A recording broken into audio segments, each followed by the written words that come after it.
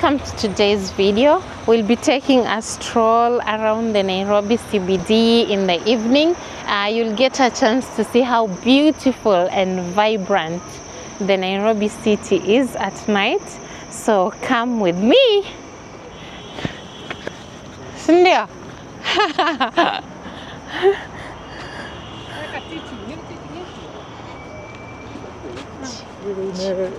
Tichi. Currently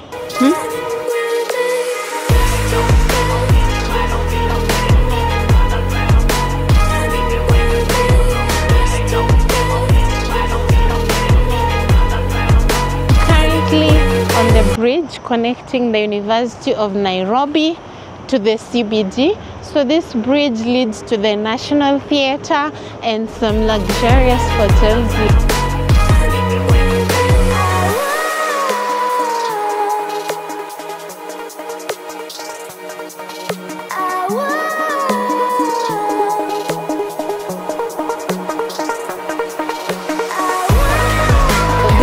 Bridge, let's see how beautiful it is. It's so huge and it's very like convenient for when students are crossing here at daytime and evenings. And it's also very safe because it's connected also to the central police station. So yeah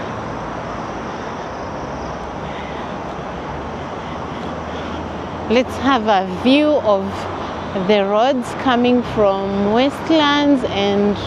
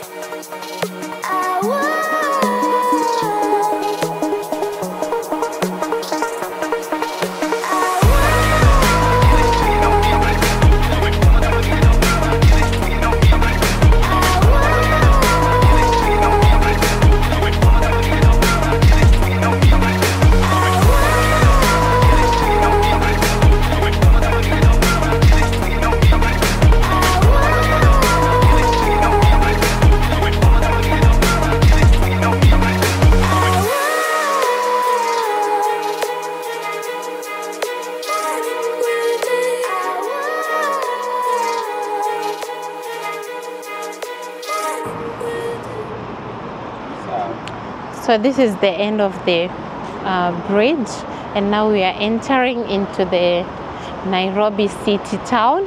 This is the Koinange street side. Um, so we'll get to see how activities happen at this time of the evening. It's around, let me see what time it is. Where's my phone? Yeah, it's 8:57 so we'll see how it goes down at this hour of the night.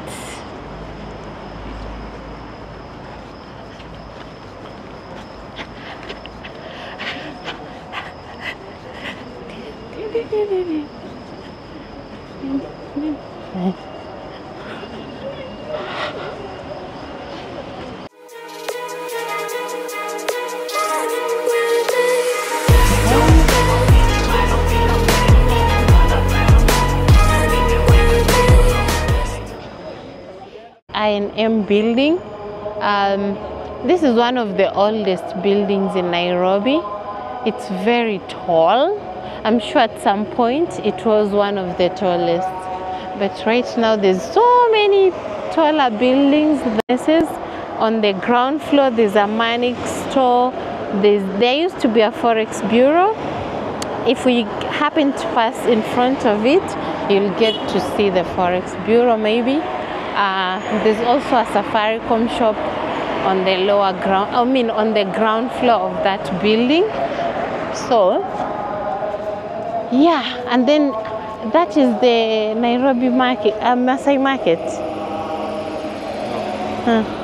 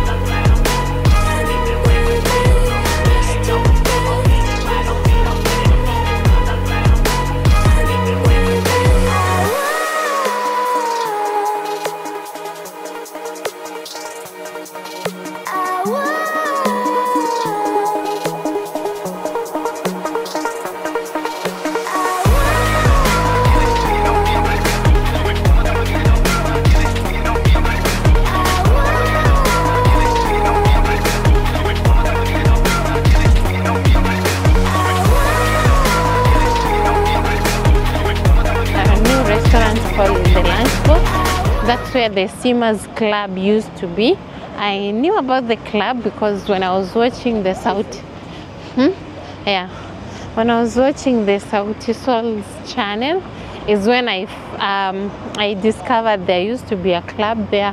I guess I was still in school, so I never like got to visit or hear my any of my friends talk about it. But yeah, I watched Bien's interview and he said that's where he used to hang out with his friends or with his. so that is the international house. Owned by K, owned. Mm, yeah, owned by Chris Kirubi, the late. He also had a penthouse. on the rooftop. He's the only, the only person living in the city. the only person who lives. Kaya ni kama ako so, so he was the only person who lived in the CBD because his house was um, up in city is super beautiful and we can walk freely at night. The cabros are fantastic, beautiful. Even when it rains, we are good to go. We can still take our strolls. Yeah. So honestly, uh, I'm so mad at myself. I don't know where the Kipchoge's painting is, but I will make sure I do a video of that place. So right now we can't walk around. Yeah, yeah, yeah. Seeing this too.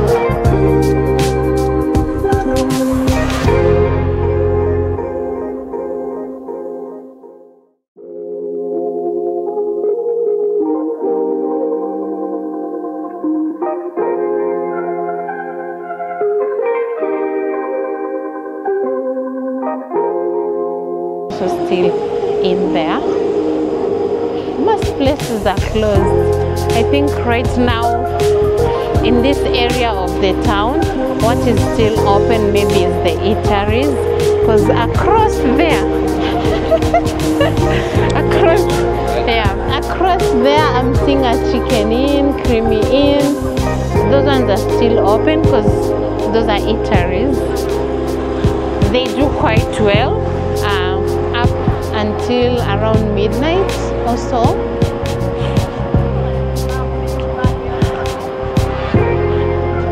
Nairobi City, guys. This is Africa, okay? I always like to say, um, if you can, just create time, do whatever, and visit Nairobi. It's a beautiful, free country. I mean, it's a beautiful, free city, very safe. Like right now, it's 9 p.m. and there's so many activities. This is the uptown side. Uh, one day I hope we'll get to do the downtown side, which is quite vibrant at this hour of the night.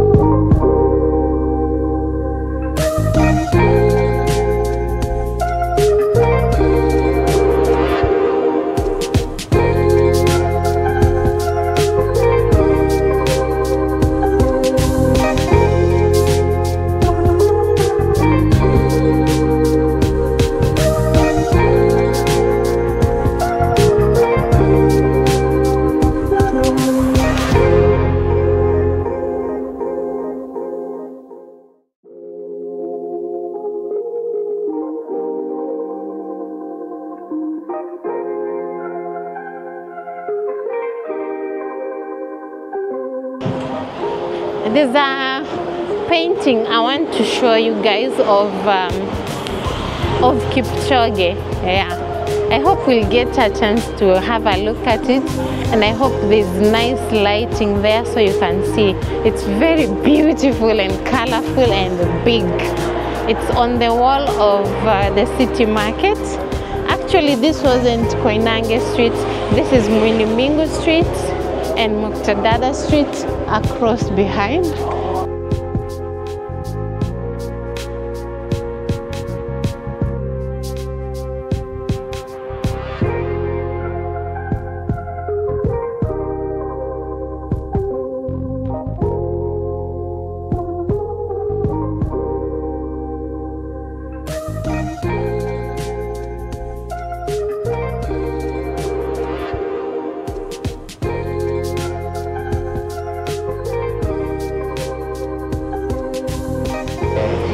Guys, behind me is the beautiful, legendary Hilton Hotel that was allegedly closed, but that's how fantastic and stunning the building looks like.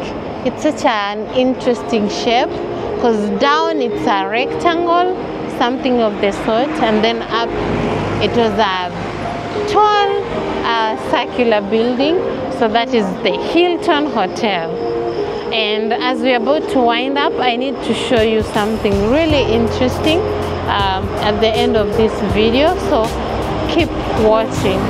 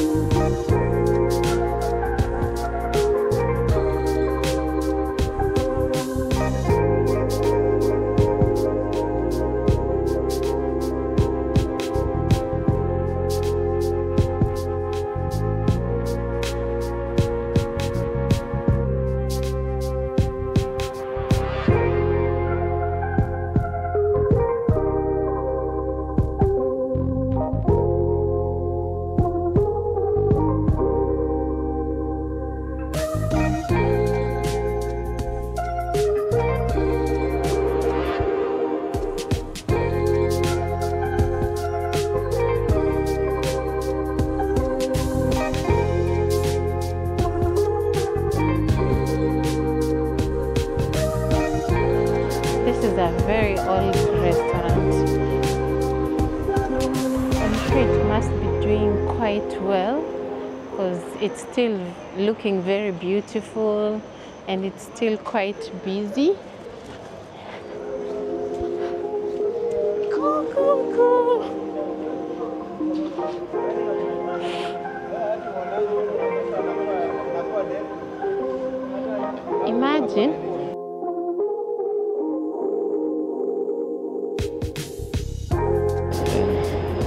Guys, back to the Hilton Hotel, um, which is allegedly closed. Um, we are trying to show you the way there's so many businesses that go on on the ground floor, uh, especially on the outer sides. Although I know because I've been inside the building. Also, inside the building, there's some stores that used to have used to, to, to operate inside there. I'm seeing Unify, Mami, that is the eyewear that um, Felicity works with, and that is Denry, and so many more. And guys, I want to show you the Times Square of Nairobi City. You won't believe this.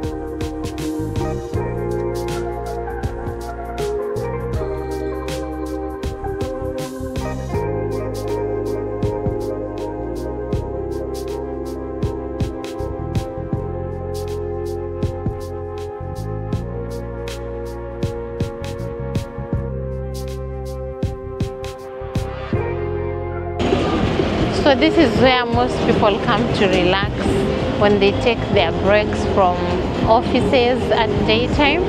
Right now it's almost um, empty, but at daytime it's usually free and it's so long. This circle is huge. It accommodates, I think, like even like more than 300 people. Actually, it can even accommodate like 500 people because from where I'm seated, one, two, three, four. This can take like four people. Yeah, so it's quite a big circle. I wonder who came up with this idea, but it was. Uh, and it also has some very interesting artworks. Wow, this must have been a lot of work.